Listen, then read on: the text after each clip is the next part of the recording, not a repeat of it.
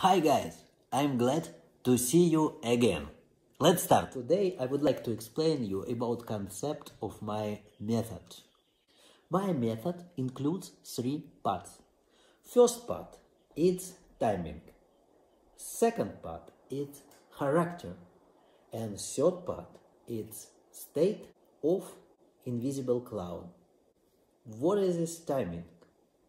Timing it's time. When we have to do things, when we have to begin, when we have to end things, how long will be pause of the things, what is our rhythm of the things. Everything should be in right time, not fast, not slowly, just right. Character, it's always about who is this person, how, how he look like. Who is this man? Is it round or square? He is around or square, and how look like around him. All decoration, all atmosphere which we build when we build stage. Which, how it's look like, it's dark or light.